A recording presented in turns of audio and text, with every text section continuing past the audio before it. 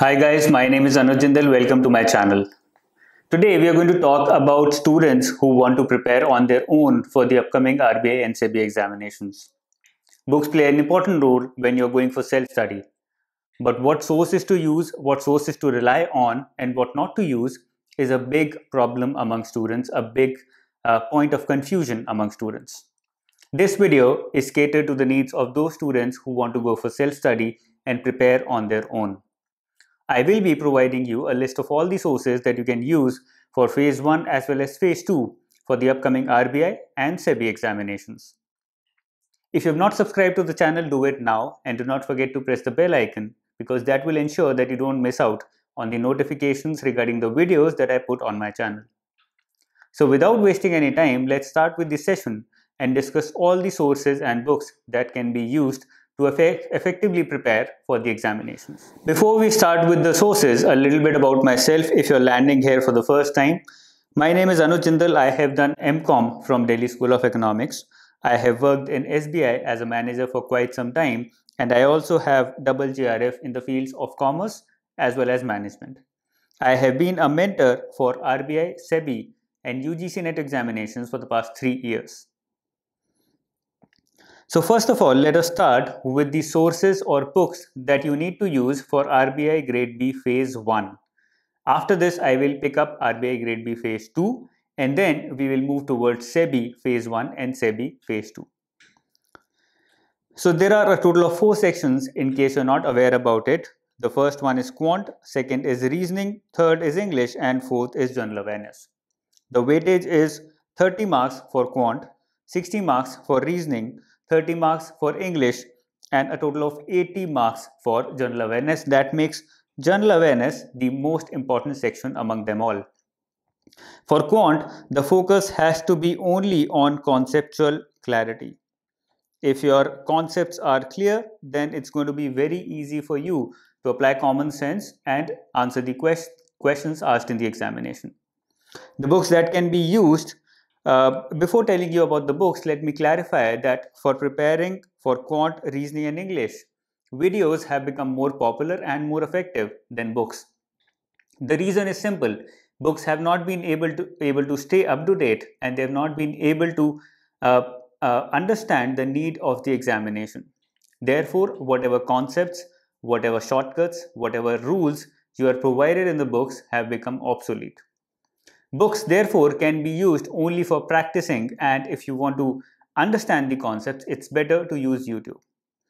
On my YouTube channel as well, you will find that there are separate lists for quant, reasoning and English and through those playlists, you can easily prepare topic wise for all these three sections.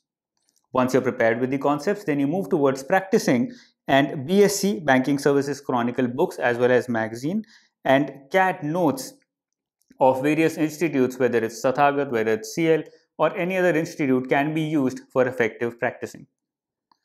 A total of 30 marks are given to quant, out of which if you're able to score 10 to 12 marks in case the section is difficult, which normally is, then you are comfortable, you are in a comfortable zone, or you can say that you can crack phase 1. When it comes to reasoning, then the preparation for understanding the concepts as well as practicing remains exactly the same. The weightage for reasoning is 30 uh, is 60 marks out of which if you're able to score 30 to 35 then you can certainly say that you are in a good zone. English is one of the easiest sections when it comes to phase 1 and out of 30 you can easily score 20 to 25 marks if you are uh, if you're practiced enough if you're prepared well.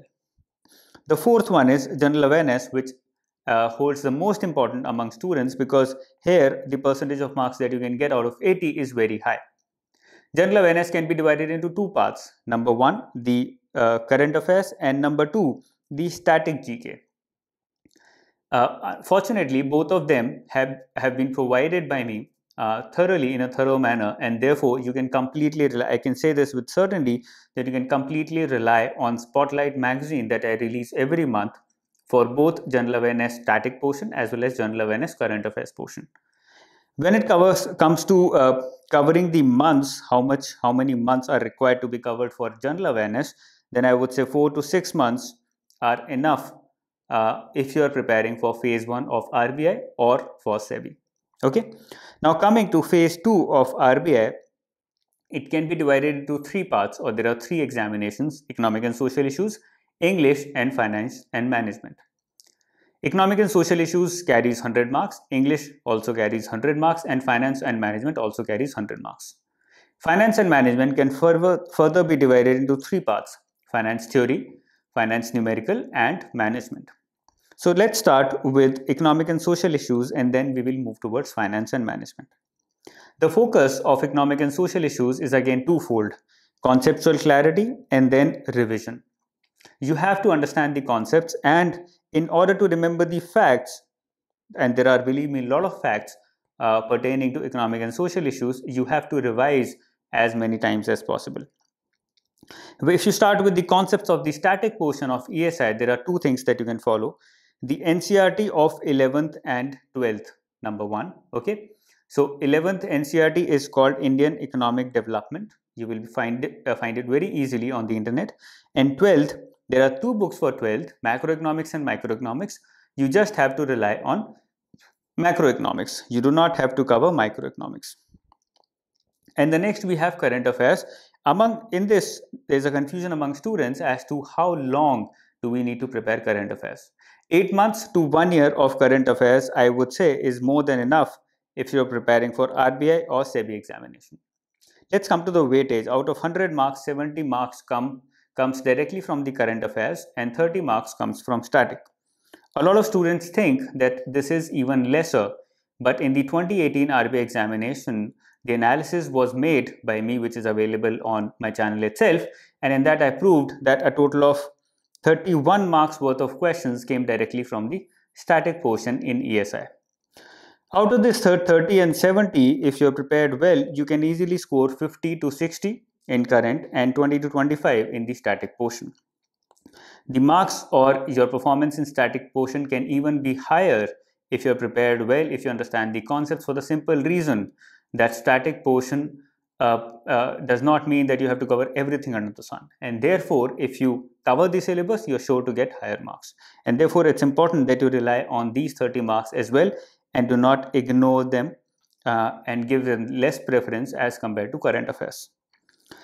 Finance and management, I said it can be divided into three parts finance theory, finance numerical, and management. Finance theory has a weight, total weightage of 50 marks, out of which 30 comes from current and about 20 comes from static.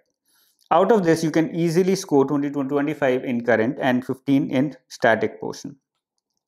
Now, the focus of finance theory also will be the same conceptual clarity and revision. Revision for twofold purposes, you remember whatever you have covered. And secondly, because there are a lot of facts, believe me, a lot of facts in finance theory as well, because you have to cover RBI website and therefore revision becomes a key. When you when it comes to coverage of the syllabus, any one of these two books, Bharti Pathak and M.Y. Khan, can be followed for comprehensive coverage of finance theory. RBI website needs to be covered regularly. If you cover it monthly, good enough. I have created a video in the past wherein I have discussed how to cover RBI website. That should be enough. And any fi one financial newspaper does the job. When it comes to finance numerical, the weightage has been reducing over time and it has reduced to just 2 marks in 2018, which came directly numerical uh, uh, in the numerical form and 4 marks worth of questions were indirect and were theoretical in nature, but they were asked from the numerical topics. Therefore, the weightage is so less, therefore, you have to prepare less or give it less time as compared to finance theory and management. A lot of students start with finance numerical and because the syllabus is so large they get stuck in it but they do not get uh, uh, equal uh, you know performance or they do, do not get the uh, do not get a significant reward out of their practicing out of their performance out of their hard work just because the weightage of finance numerical has been reducing over time okay what all books to use for finance numerical RP Rustagi for BCom covers majority of the syllabus, but a lot of students want to rely on Prasanna Chandra. But there's a trick or there's a problem in Prasanna Chandra. It is made for masters and PhD level and therefore it's very detailed. So you have to ensure that you stick to the basics. Also, from every chapter, you don't need to read everything and a chapter wise revision is required, which will be made by me in the coming days. The next and the most important one is management, which uh, has a weightage of 45 marks. And why this is so important is because the percentage of marks that you can gain out of this is very high. The simple reason is it's all, all static. There are no changes, there are no confusions. But a lot of students find management a little confusing at times for the simple reason that management is subjective in nature at times. Even though the questions are objective, management itself is subjective in nature because it deals with human behavior. And therefore, getting to the right answer becomes tricky. Now, management can be divided into three parts principles of management, organization behavior, and HRM. For all these three, you can follow either T.N. Chhabra or C.B. Gupta. Both of them are good enough and are equal in nature. Now, the focus of management is going to be twofold. Number one, keywords, and number two, definitions. This is the most important area in management. The questions are framed around these only keywords and definitions. Keywords and definitions. So you have to make your notes. If you want to make your notes, you have to make them accordingly. Please do not make lengthy notes in management because you can revise everything through keywords as well as definitions. Now coming to one of the most confusing areas in RBI that is essay or English portion. English portion can be divided into following areas essay, précis, comprehension, letter and report. Letter and report are limited to NABARD. They are not asked in uh, RBI or SEBI, RBI and SEBI rely on essay, précis, and comprehension. And the only trick to cover essay, précis, and comprehension well is to write. I see a lot of students not writing enough or writing just towards the end of the examination when the exam is like five days away, a week away, you start writing. That is not going to work. That is not going to help you improve your performance in such, such a short span of time. So focus on writing as much as possible over the weekends. Okay. There are no books which can help you understand or prepare better for essay, précis, and comprehension. You have to rely on newspapers, on writing practice. What I do for you is that uh, we create model essays and model topics, and we try and uh, figure out which one of these should be asked in the examination the weightage is 100 marks again and in this you can easily score 75 to 85 depending upon what kind of marketing what kind of sorry marking is followed by the examiner now having done with the RBI SEBI also follows exactly the same level of questions or even one level shorter or smaller than RBI examination but the uh, the the uh, uh, you know weightage of questions is a little different Quant weightage is 40 marks, reasoning weightage is 40 marks, English is again 40 marks, general awareness is again 40 marks, and you can rely on the same sources and use the same methods of preparation.